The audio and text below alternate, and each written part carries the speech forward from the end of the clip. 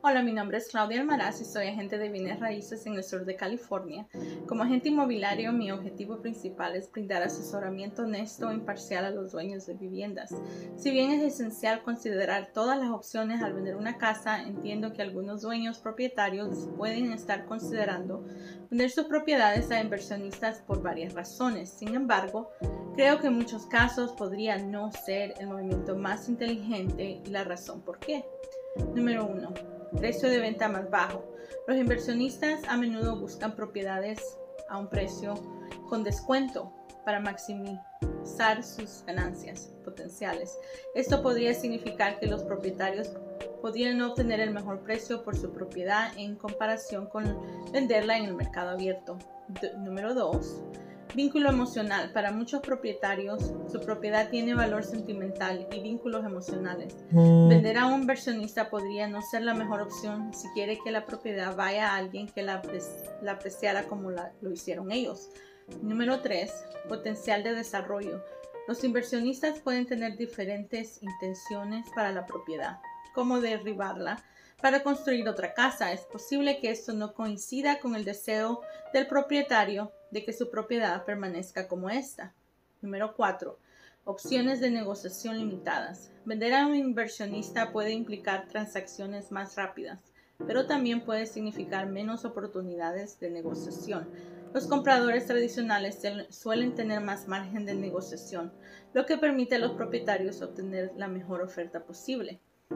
Número 5. Impacto en la comunidad. Vender a inversionistas podría cambiar potencialmente la dinámica del vecindario. Algunos propietarios pueden preferir vender a individuos o familiares que contribuyan positivamente a la comunidad. Número 6. Presión de tiempo. Los inversionistas pueden presionar a los propietarios para que realicen ventas rápidas, lo que puede no darles suficiente tiempo para encontrar una nueva casa adecuada o planificar cuidadosamente su propio movimiento. En cambio, yo recomendaría a los propietarios que, le, que consideren las siguientes opciones. Número 1. Incluye la propiedad en el mercado abierto. Esto permite una gama más amplia de compradores potenciales y brinda a los propietarios la oportunidad de negociar y obtener el mejor precio por su propiedad. Número 2. Trabaje con un agente de bienes raíces. Contratar a un agente de bienes raíces de buena reputación puede ayudar a los propietarios a navegar el proceso de venta y garantizar que obtengan el mejor resultado posible. Número 3. Sea paciente. Si el tiempo lo permite, los propietarios pueden tomarse su tiempo para encontrar el comprador adecuado que se alinee con sus preferencias y valores. Número 4. Investigue al comprador. Si un inversionista se acerca a ellos, los propietarios deben investigar a fondo sus intenciones, historial y reputación antes de tomar cualquier decisión.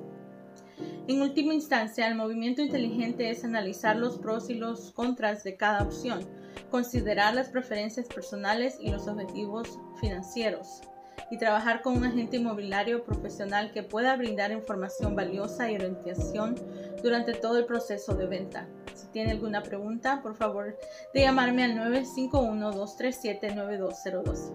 Muchas gracias.